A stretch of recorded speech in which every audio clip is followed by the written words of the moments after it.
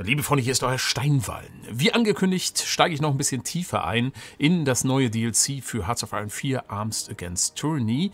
Und zwar beschäftigen wir uns jetzt mit den vier Ländern, äh, die ganz groß eine Rolle spielen in diesem DLC. Das heißt, wir gucken uns vor allem die Fokusbäume an und schauen, was dort passiert. Und in diesem Video möchte ich mich mit Finnland und Schweden befassen. Und wir starten mit Finnland. Finnland ist 1936 ein demokratisches Land, aber der Nationalismus ist auf dem Vormarsch.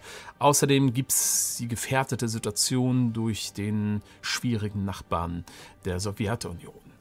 Finnland hat einen Nationalgeist am Anfang, Sisu, das ist sowas wie Hartnäckigkeit, ein unübersetzbarer finnischer Ausdruck für die Widerstandsfähigkeit. Den gab es schon immer, allerdings ist das System da hinten jetzt ähm, dahinter ein bisschen anders. Ähm, ihr seht, Sisu bringt Moral und Verteidigung in Kerngebieten.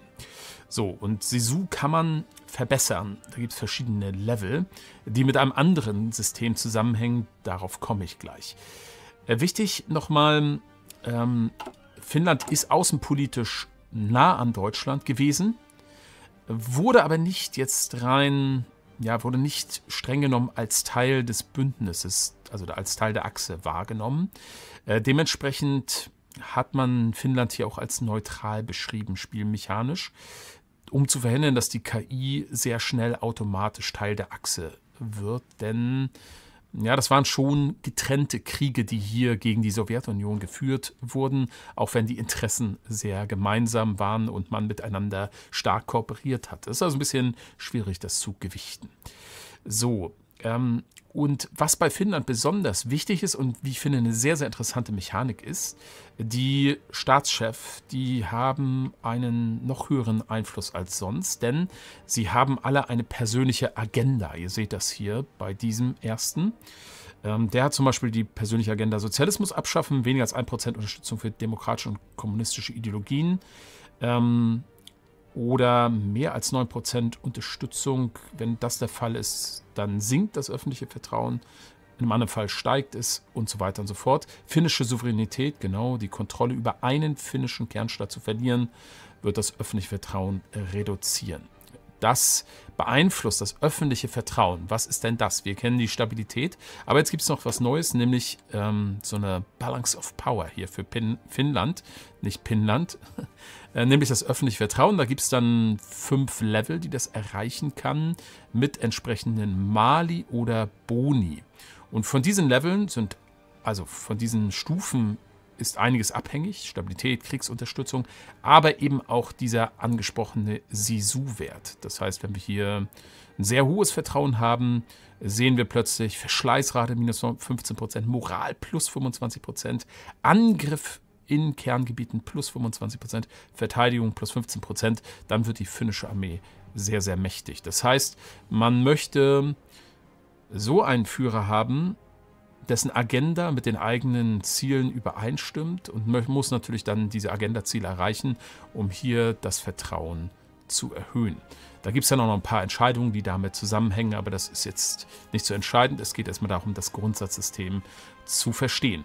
Ähm, es wird auch Entscheidungen geben, um ja, es wird Wahlen geben, dann kann man auch äh, unterschiedliche Präsidenten wählen. Man kann auch zum Beispiel hier über ein Misstrauensvotum einen neuen Präsidenten bekommen mit einer anderen Agenda. Die sieht man auch in der Vorschau hier schon im Tooltip. Also das ist alles ähm, damit verknüpft. Im Übrigen wird man dann auch, wenn es zum Krieg kommt, zum Beispiel zum Winterkrieg gegen die Sowjetunion, eine Militärregierung bilden. Und das ist zum Beispiel der Weg, um Mannerheim zum Präsidenten zu bekommen. Auch das ist hier über eine Entscheidung möglich.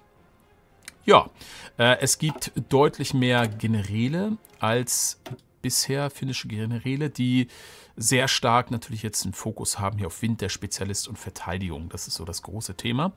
Außerdem gibt es einen neuen Perk, der nennt sich Veteranenjäger. Das basiert so ein bisschen darauf, dass äh, finnische Offiziere, Soldaten während des Ersten Weltkriegs in Deutschland ausgebildet wurden als Jäger. Davon profitieren die dann in diesem Falle. Und über den Fokusbaum bekommt man auch noch mehr Generäle. Außerdem gibt es, wenn wir hier nochmal gucken, einen neuen, halt einen neuen neuen Industriekonzern, eine Bergbaugesellschaft, um die Rohstoffproduktion auch noch ein bisschen zu verbessern. Und natürlich gibt es hier diese neuen militärisch-industriellen Organisationen für Finnland entsprechend angepasst. So, bevor wir zum Fokusbaum kommen, ein Wort zum Thema Winterkrieg. Da gibt es eine neue Mechanik, die dahinter steht. Also Krieg gegen die Sowjetunion, der vermutlich ausbrechen wird, denn die Sowjetunion wird in der Regel verlangen, dass ihnen hier dieser Staat übergeben wird, Kajala. Ja, das kann man natürlich machen, dann bricht kein Krieg aus oder man geht halt in diesen Krieg. Und jetzt ist es so, dass man äh, aktiv Friedensverhandlungen fordern kann von der Sowjetunion, wenn man Leningrad 30 Tage besetzt hat und also es 30 Tage hält. Dann gibt es eine Entscheidung, dann kann man Friedensverhandlungen verlangen und dann muss natürlich die SU noch zustimmen. Ähm, und dann ist es möglich, einen weißen Frieden zu erringen. Wenn man währenddessen sogar Kontrolle über Murmansk, Onega und oder Olonetz hat, äh, dann erhält man auch noch eine oder vielleicht sogar mehrere dieser Gebiete. Die Sowjetunion kann in so einem Fall diese Anfrage auch ablehnen, aber das ist für sie mit einem sehr, sehr hohen Preis verbunden, nämlich es schwächt ihre gesamte Armee. Äh, die ganzen, also diverse Kampfwerte werden dort geschwächt, sodass ein, eine Weiterführung des Kampfes für die Finnen dann deutlich einfacher wird. So ist diese neue Mechanik dahinter. Okay, dann gucken wir uns jetzt den Fokusbaum an und das sieht erstmal überwältigend aus. Ich will es ein bisschen strukturieren. Wir haben hier den politischen Bereich mit dem, sagen wir mal, historischen Pfad in der Mitte, den kommunistischen, den faschistischen. Hier haben wir den Industriezweig, der für alle verfügbar sind. Und das rechte ist dieser schon von mir vorgestellte, im ersten Video vorgestellte gemeinsame Pfad für alle Nordreiche, wenn die in einem gemeinsamen Bündnis sind.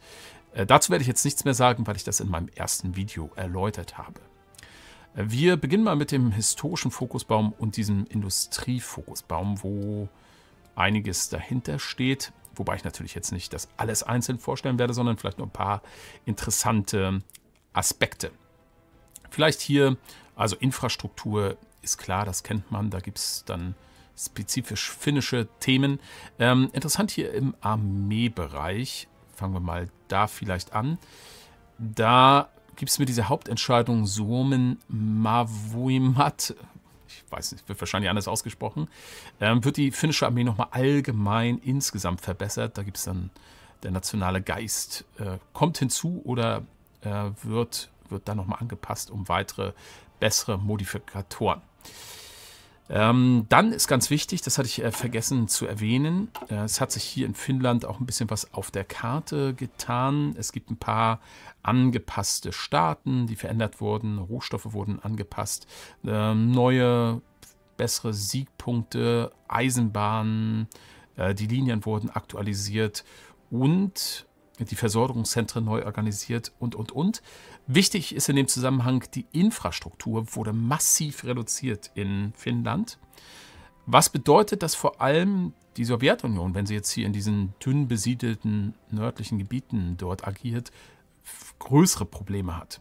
Das Ganze wird also realistischer, dass man da nicht mehr so einfach kämpfen kann. Und worauf ich jetzt eigentlich hinaus wollte, hier, ähm, Aland das ist jetzt entmilitarisiert am Anfang. Demilitarisiert seht ihr hier für Truppen unzugänglich. Warum sage ich das? Weil es hier eben diesen Schwerpunkt gibt, um das zu ändern, wenn man das dann will. Da gibt es dann auch ein paar Stützpunkte, Abwehrgeschütze und ihr seht es, Landbefestigung und ähnliches. So, dann haben wir ähm, auf der rechten Seite die äh, legendäre Mannerheim-Linie und die Verteidigung, die man hier stärken kann. Ähm, einzigartig für Finnland ist die sogenannte Motti-Taktik. Ja, da ging es darum, dass man Einheiten, kleinere Einheiten, Gruppen des Gegners isoliert hat und dann nach einer gewissen Zeit, also geschwächt hat dadurch und dann nach einer gewissen Zeit erledigt hat. Also müsst ihr euch vorstellen, riesige Wälder, Winter, nur eine Straße durch diesen Wald und dann hat man wie sowjetische Panzerkolonnen oder Modkolonnen äh, durch Fällen von Bäumen oder so voneinander getrennt und dann hat man zugeschlagen. So, dies kann man nutzen und zwar ist das eine Entscheidung in einem Staat, äh, wo diese Motti-Taktik dann angewendet werden soll. Und das gibt dann entsprechend krasse Boni oder äh, starke Mali für den Gegner. Äh, allerdings wird das mit jedem weiteren Start, wenn man das aktiviert, immer teurer, kann aber auch deaktiviert werden. Wichtig ist aber, man muss den Start noch kontrollieren, sonst kann man die Motti-Taktik dort nicht anwenden. Dann haben wir den Winterkrieg selbst. Äh, der schaltet neue Unterstützungsbataillon frei, Winterlogistikkompanien, also einfach nochmal die Winterkriegsführung wird nochmal gestärkt. Dann haben wir die Langstreckenpatrouillen, auch hier neues äh, Unterstützungsbataillon, eben die Langstreckenpatrouille. Äh, bessere Aufklärer, die werden mit diesem Fokus die Sissy noch besser. Und es gibt sogar Sami-Pfadfinder, die allgemein die ja, die Verschleißrate im Winter nochmal reduzieren, Aufklärung und so weiter verbessern. Ähm, dann haben wir den Luftwaffenbereich. Da bekommt man wie üblich eigentlich Luftwaffenstützpunkte, XP, Boni für Flugzeuge. Ups, da wollte ich nicht draufklicken. Äh, ja, Piloten, Fliegerasse und auch bei der Marine ist jetzt, glaube ich, jetzt nicht so viel Besonderes dabei. Schiffbauindustrie, Marinebasen und diese Marine Industrieorganisationen, die ja neu mit dazu sind. Schauen wir mal in diesen politischen Bereich und zwar in den mittleren Bereich, in den historischen, wenn man das so sagen darf, wo man sich also einigermaßen historisch bewegt. Also der demokratische Bereich, dann in gewisser Weise auch. Ähm, auch hier nur die interessanten Knackpunkte vielleicht. Hier ganz unten kann man, je nachdem, was für einen Führer man hat, diesen nochmal stärken. Also hier hm, braucht man Svinhufut oder Pasikivi ähm, bei Neuausrichtung des Kokoismus. Oder dies ist hier für Mannerheim gedacht und dies für Risto Ryti.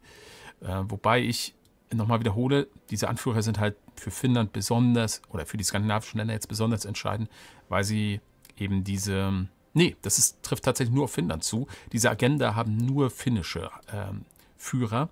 Äh, und das ist halt wirklich wichtig, weil es entscheidend die eigene Ausrichtung dann definiert.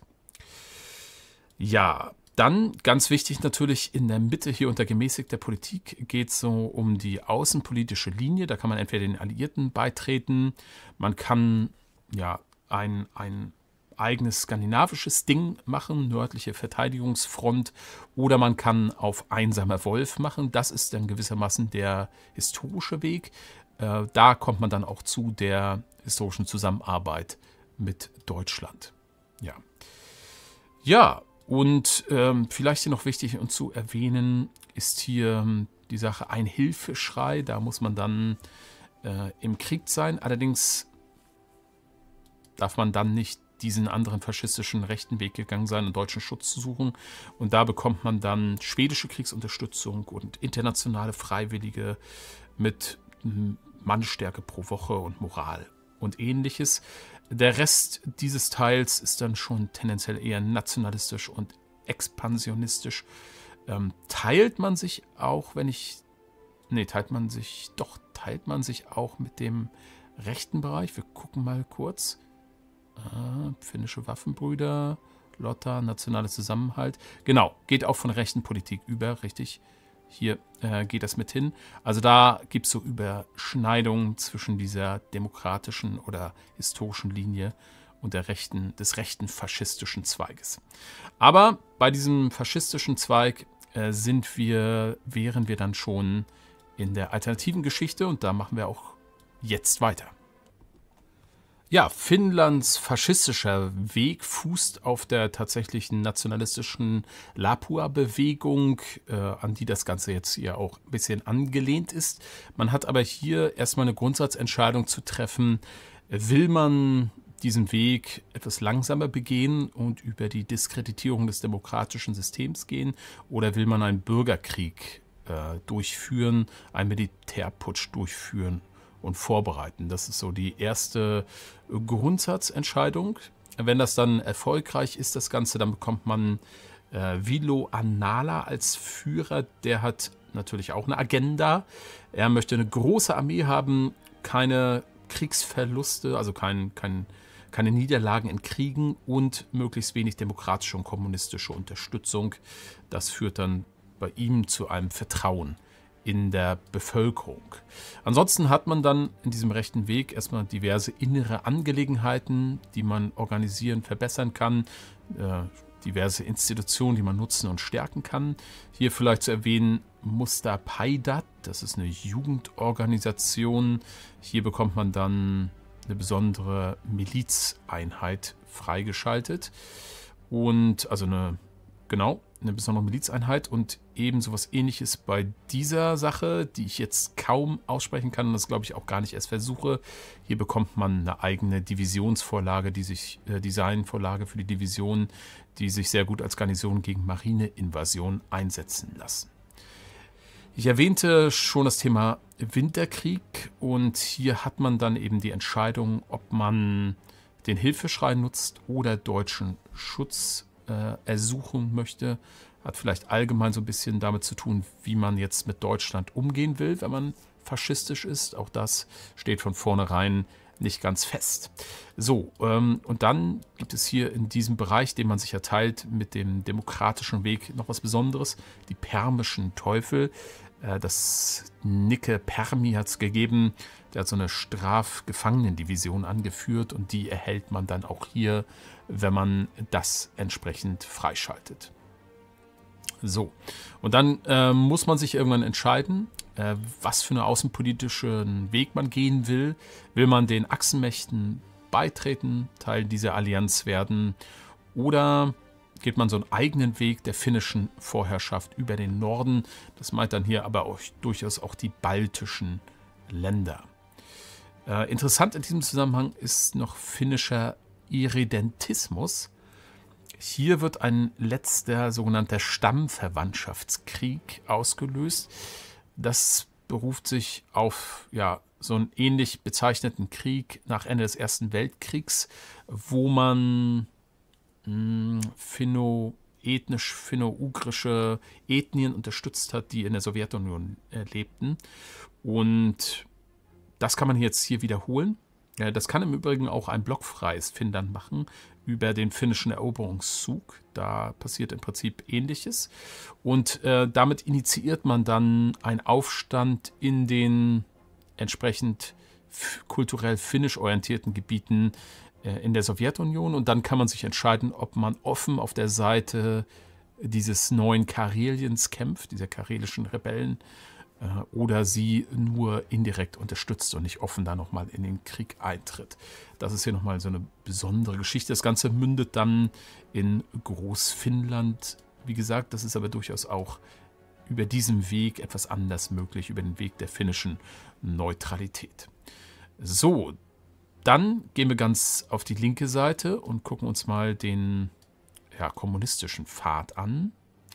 Mm, am Anfang muss man sich entscheiden. Es ist nämlich doch nicht ganz kommunistisch, sondern muss sich entscheiden, wirklich kommunistisch oder sozialdemokratisch. Und wenn man sozialdemokratisch wählt, dann hat man hier auch so eine Mischung, dann gibt es Überschneidungen zwischen dem Bereich der finnischen Neutralität.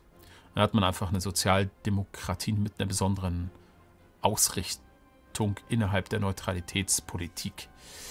Ja, ähm, da ist entscheidend dieser patriotische Sozialismus. Da übernimmt dann Sozialdemokratische Partei die Macht und man bekommt Vaino Tanner, ein Präsident, der eine Agenda hat, eine hohe demokratische Unterstützung ist für ihn nötig, Kontrolle aller äh, bisherigen Staaten, die Finnland kontrolliert.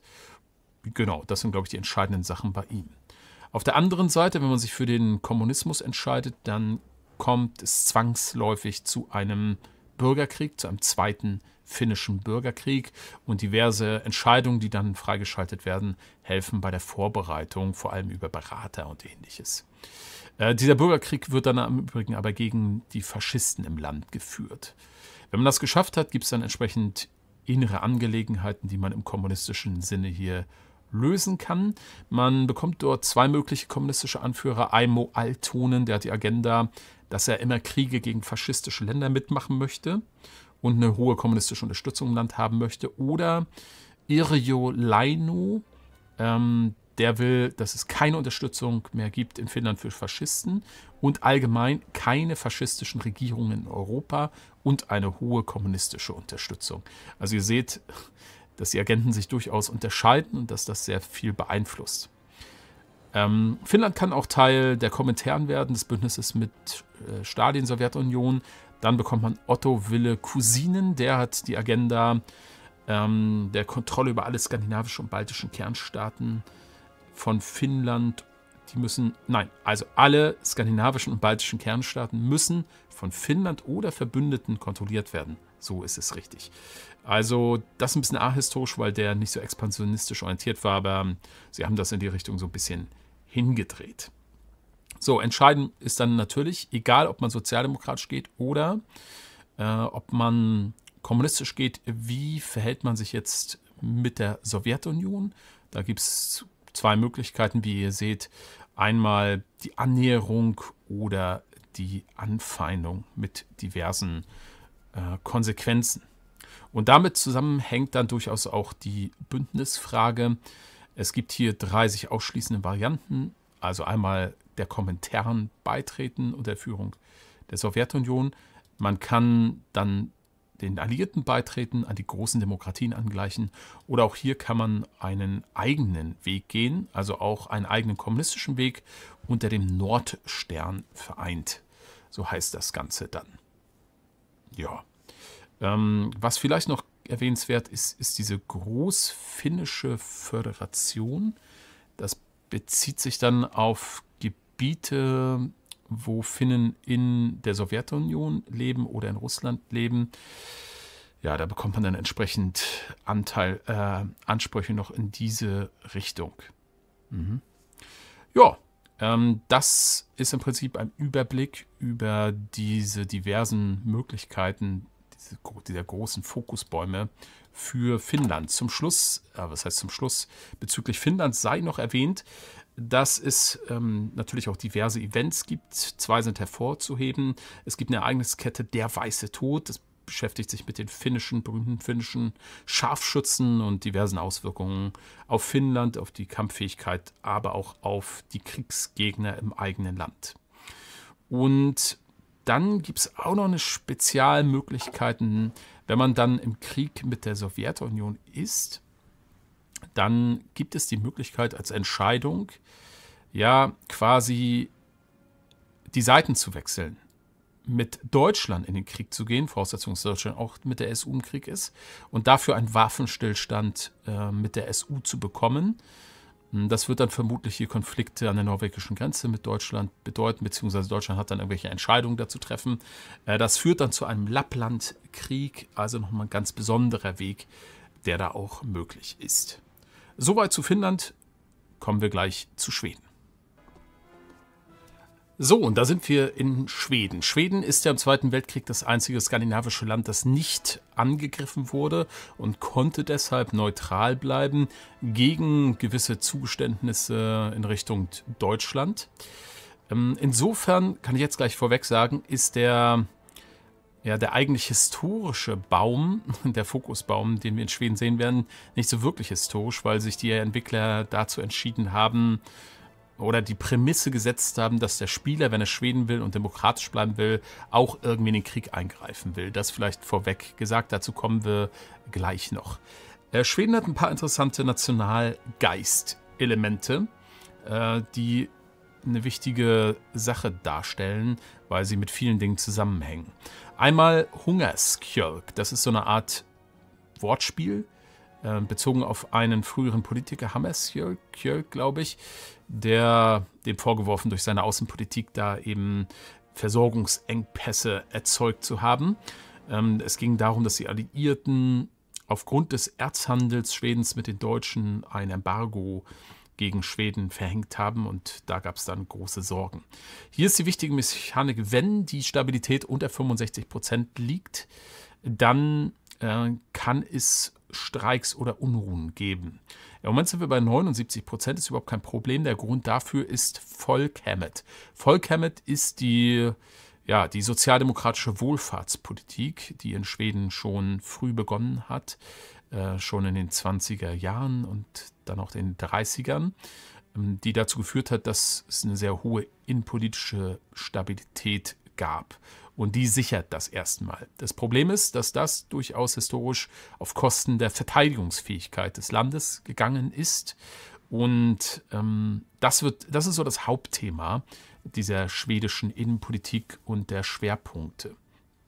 Das heißt, im Moment ist diese, dieser Wohlfahrtsstaat noch ein Puffer gegen Streiks und Instabilität. Aber wenn man sich auf den Krieg vorbereiten will, dann wird man diesen Volk Hammett, äh, ja, das wird man dann verändern müssen und dann wird dieser Stabilitätspuffer aufgebraucht sein. Und das ist halt die große Frage, wann bewaffnet man sich als Schweden und wie vermeidet man dadurch, ja, oder wie Nachteile im Zusammenhang eben mit diesem Hungerskjölk. So, und da gucken wir jetzt mal in diesen Fokusbaum hinein. Auch hier erstmal kurzer Überblick. Wir haben hier am Anfang ja, so einen Industriezweig, zu dem wir gleich kommen werden. Links Militärindustrie. Äh, dann haben wir unter dem Industriezweig die politischen Zweige und hier rechts oben äh, sind dann wieder die gemeinsamen Zweige, äh, wenn es so ein skandinavisches Bündnis gibt. Fangen wir mal an mit diesem Industriezweig. Der ist ganz interessant.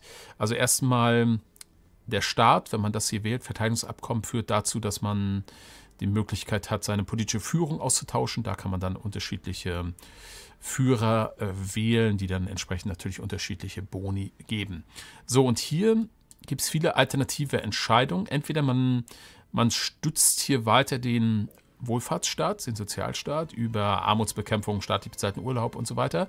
Oder ähm, stärkt eben die Militärindustrie, die Verteidigungsgeschichten und holt sich dort Boni entsprechend ab. Das hat jetzt erstmal noch keine Auswirkung aufs Volkshammet. Der Grund dafür ist, äh, dass das hier drin ist, ist die Abwägung, dass man durchaus hier sozialpolitische Maßnahmen ergreifen kann, um zusätzliche Stabilität zu erhalten um diesen Hungerskirk zu verhindern, weil hier in diesem Zweig wird Volk Hammett, diese, dieser Modifikator, deutlich umgebaut und verliert deutlich an diesen Stabilitätszuschuss. Das heißt, man kann versuchen, das zu kompensieren mit anderen äh, Wohlfahrtsmaßnahmen, sozialpolitischen Maßnahmen. Das ist so ein bisschen die Struktur, die dahinter steht. Wenn man keinen Bock hat auf diese Volkshammet, ähm, Mechanik, da kann man hier unten über wirtschaftliche Liberalisierung äh, dies auch komplett entfernen mit entsprechenden Konsequenzen. Auch hier gibt es aber einen Stabilitätsabzug von minus 10%. So, kommen wir mal zu diesem militärisch-industriellen Zweig. Hier haben wir einmal so einen zentralen Bereich, so wie das Barometerfeld. Dahinter verbergen sich dann die wichtige Verbesserungen für die Armee, wobei man hier dann eine Grundsatzentscheidung, ja, hier hat man zu entscheiden, ob man eher so defensiv oder offensiv stärkt und in die Richtung geht. Ähm, und jetzt ist wichtig, dass viele militärische Schwerpunkte hier eben diesen Volkshammet-Modifikator verändern. Wir können mal gucken, bei Saab-Gründen äh, führt das dazu, seht ihr unten, modifiziert Volk-Hammet, Kriegsunterstützung plus 16%, Stabilität minus 16%. Das gleiche hier bei den Bofors Panzerabwehrgeschützen. Und wenn man das jetzt alles einführt, und vermutlich muss man das tun, um eine schlagkräftige Armee zu haben, dann wird Volk Hammett in dieser Form hilft zwar für die Kriegsunterstützung, aber also erhöht nicht mehr die Stabilität, wie es bisher tut.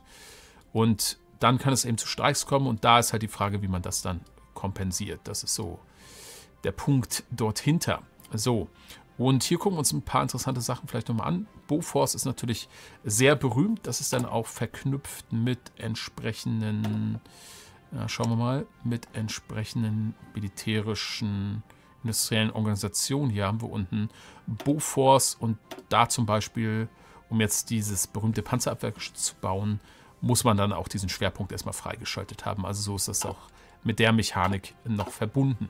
Ah, ich war hier schon drin. Okay, kehren wir aber mal hier zurück. Kurz zum Marinebaum. Hier ist so eine zentrale Entscheidung, die zu treffen ist. Ob man über Großschiffe, über Schlachtschiffe versucht zu gehen oder die Werften umrüstet, um so einen Weg über U-Boote und leichte Schiffe zu gehen.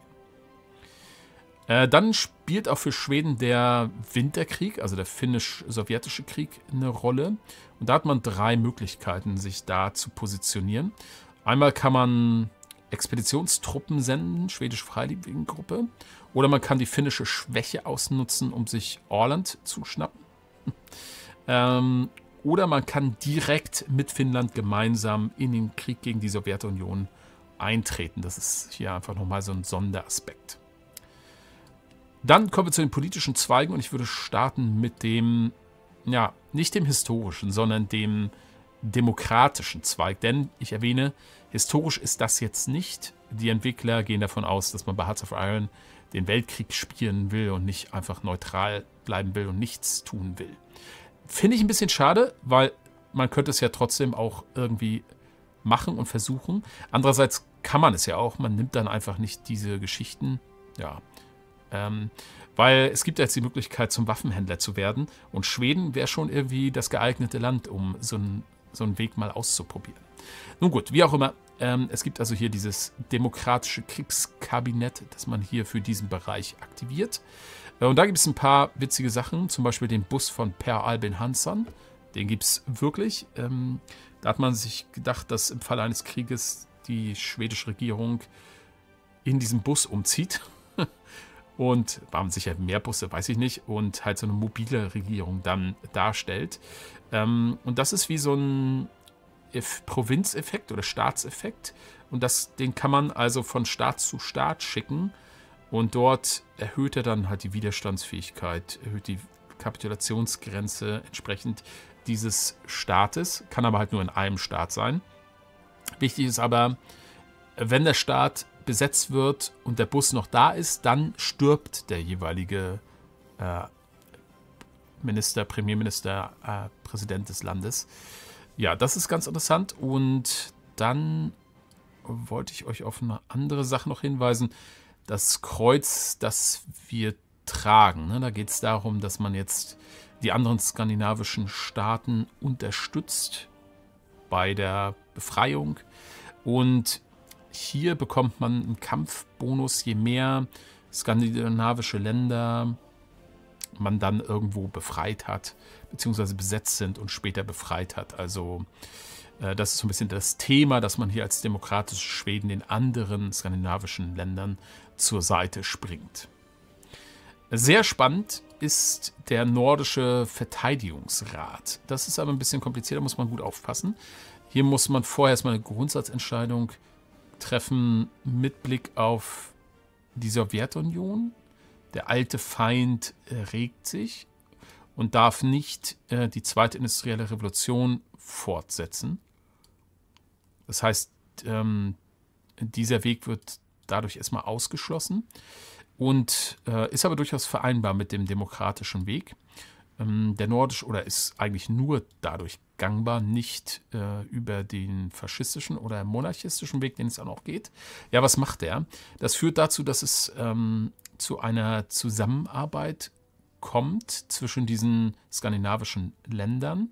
Und dann muss man sich entscheiden, wie man diese militärische Zusammenarbeit organisiert, nämlich über ein zentrales Armeekommando oder ein dezentral. Dezentral heißt einfach, es gibt ein normales Bündnis und die KI steuert ihre äh, Armeen weiter. Aber wenn man ein zentrales nordisches Armeekommando macht, dann übernimmt der Spieler Schweden damit die Kontrolle über sämtliche Armeen der skandinavischen Länder. Und dann kann man also das komplett führen und also auch kontrollieren.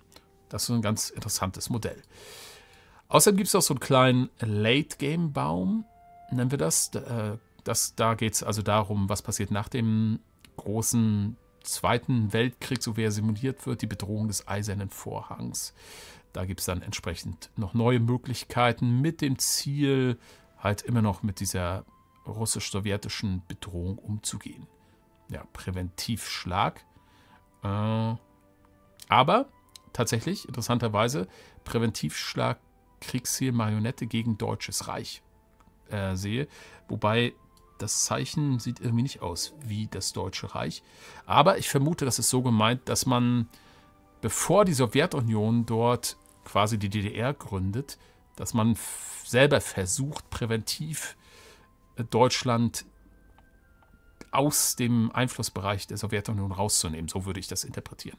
Also hier ist nochmal so eine ganz eigene kleine Geschichte, die sich dahinter verbirgt.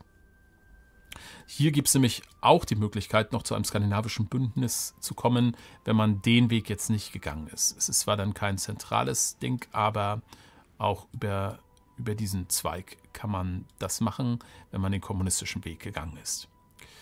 Ja, und da kommt nämlich auch dann zum letzten Teil.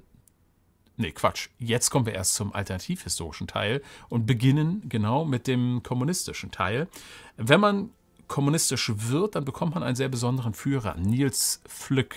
Der ist deshalb besonders, und wenn wir hier draufgehen, sehen wir das auch gleich, weil der ein kommunistischer Führer war, der antisowjetisch eingestellt war und pro-Deutsches Reich.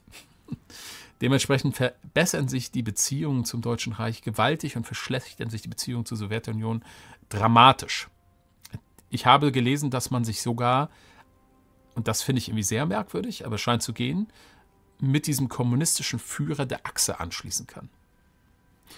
Auf jeden Fall äh, kann man als Schwe kommunistische Schweden nicht äh, der Kommentaren beitreten.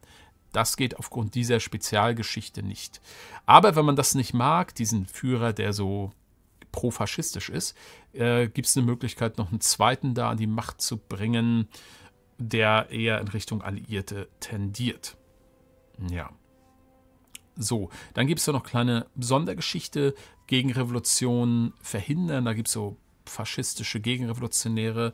Da wird man erfahren, dass äh, paar Generäle da mitmachen, mit denen muss man dann umgehen, entscheiden, was, was mit ihnen passiert. Ansonsten gibt es dann innenpolitische Reformen, verschiedene Berater und dann kann man eben Einfluss auf die skandinavischen Nachbarn nehmen und diese ebenfalls kommunistisch machen, mit dann diesem Ziel hier vielleicht äh, ein eigenes kommunistisches Verteidigungsbündnis äh, zu bekommen über diesen Late-Game-Fokus, über den ich eben schon gesprochen habe.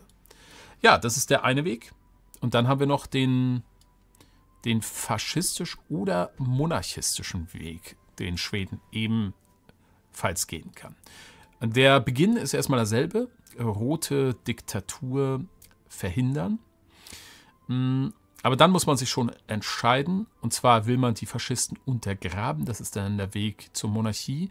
Oder will man die Antimilizgesetze aufheben? Das sind Gesetze, die die Schweden wohlweislich in den 20er Jahren, glaube ich, beschlossen haben, gegen diese nationalistischen Strömungen, gegen diese nationalistischen Milizen, die es in anderen Ländern ja gegeben hat. Ähm, die kann man aufheben und das ist der Weg dann ins nationalsozialistische Schweden. Äh, hier bekommt man dann zuerst äh, Stormtrupper, so heißen die, Stormtrupper, Milizdivisionen, die einem dann bei einem Bürgerkrieg am späteren helfen werden. Auf der anderen Seite kann man eben ein Treffen mit dem König abhalten und da gibt es so eine besondere Mechanik, dass Entscheidungen freigeschaltet werden, mit denen man, also der König reist dann durch die, durchs Land und da kann man dann bestimmten Bevölkerungsgruppen so Versprechungen machen, um ihre Unterstützung zu erhalten. Da muss man dann irgendwelche Ziele, sowas wie Mini-Quests erreichen. Das ist quasi dieser Weg. Ähm, auf der anderen Seite, wenn man faschistisch geht, gibt es die Grundsatzentscheidung, äh, will man die deutsche Hilfe beim Bürgerkrieg in Richtung Faschismus oder will man das selber machen, ohne die Deutschen? Ähm, wenn man die deutsche Hilfe will, dann öffnet sich eine ganz eigene Geschichte, denn man wird in dem Falle erst einmal zur Marionette Deutschlands. Und dann spielt sich das ganze Spiel dahingehend, dass man sich überlegen muss, ob man diese Marionette bleiben will und immer mehr Rechte und Möglichkeiten bekommt und am, ande, am, anderen, am Ende ähm, die Führung als Reichsprotektorat Nordland übernimmt. Oder ob man immer weiter seine Unabhängigkeit oder seine Unabhängigkeit stärkt, sagen wir es mal so, um dann irgendwann sich loszulösen von Deutschland und sogar einen Unabhängigkeitskrieg gegen das Deutsche Reich zu starten. Schweden rebelliert mit dem Ziel, eine neue eigene skandinavische Ordnung zu bauen. Das ist also hier die Geschichte, die da dann möglich ist und erzählt wird. Ähm, die Alternative ist, wie gesagt, wenn man nicht mit Deutschland geht, sondern allein faschistisch werden will oder allein monarchistisch werden will. Das mündet dann in einen gemeinsamen Pfad wieder. Ähm, die Gegenrevolution. Da muss man dann irgendwie Verpflichtungen gegenüber Fraktion, den Fraktionen da erfüllen. Und hier habe ich es so verstanden, dadurch, dass man, wenn man den faschistischen Weg gegangen ist, hat man nicht diese Verpflichtungen. Dann dann kommt es, glaube ich, an dieser Stelle zum Bürgerkrieg oder eben nicht, wenn man die Verpflichtung erfüllt hat. Man kann also auch friedlich monarchistisch werden. Bin ich mir nicht hundertprozentig sicher, aber so habe ich äh, das System verstanden. Ist ein bisschen kompliziert. Auf jeden Fall, wenn man das dann geschafft hat, entweder friedlich oder mit Bürgerkrieg, dann ähm, ja, dann hat man diverse expansionistische Möglichkeiten. Das läuft meistens über so mini-regionale Konflikte, die Narvik-Krise, Bornholm-Krise, Orland-Problem und so weiter, um dann expansiv in Richtung Norwegen, Dänemark zu gehen, Finnland zu gehen. Wobei bei Finnland hat man die Entscheidung, man kann auch mit Finnland ein Bündnis schließen, sodass es unabhängig bleibt und sich auf diese Art und Weise gegen den Bolschewismus wenden. Das geht aber natürlich auch ohne ein Bündnis mit Finnland. Man kann sie auch erobern. Es gibt aber noch eine Art, wie man ja, wie man auch ein bisschen kooperativ vorgehen kann, nicht ganz so isoliert sein muss. Man kann sich dann auch den Alliierten nähern. Wobei das natürlich nicht geht, wenn man sich den Deutschen angeschlossen hat. Ja, also, das ist möglich. Das heißt, ich bin mir nicht, man wird, glaube ich, nicht ah, er das eigenes Schweden, will sich Alliierte anschließen. Aber das würde ja bedeuten, dass man zumindest faschistisch sein kann und sich den Alliierten anschließen kann. Interessant, aber man darf halt nicht diesen deutschen Weg gehen. Ja, spannend. Oder eben monarchistisch. Also das geht auch. Äh, da gibt es dann aber, wenn man das macht, bekommt man als Belohnung ehemalige Kolonien zurück von den Vereinigten Staaten sogar, von UK, von Frankreich, ähm, teilweise in Indien und Afrika und ähnliches. Und in Amerika auch eine ganz spannende alternative Geschichte. Ja, und dann das Ende ist dann das großnordische Reich hier. Und wenn man gegen die Sowjetunion geht, dann die Rückeroberung der Rus als alternativhistorische Fantasie. Darüber hinaus gibt es auch noch während des Krieges sogenannte Flashpoint-Events für Schweden, ähm, zum Beispiel versehentliche Bombardements der Sowjetunion, wie man darauf reagiert, inwieweit man Hilfe für Finnland leistet und, und, und. Ja, und natürlich, und das gilt für alle skandinavischen Staaten, äh, wird es neue 3D-Modelle geben, Einheitenmodelle, Panzermodelle und so weiter. Da ist natürlich einiges, was da noch dahinter steckt.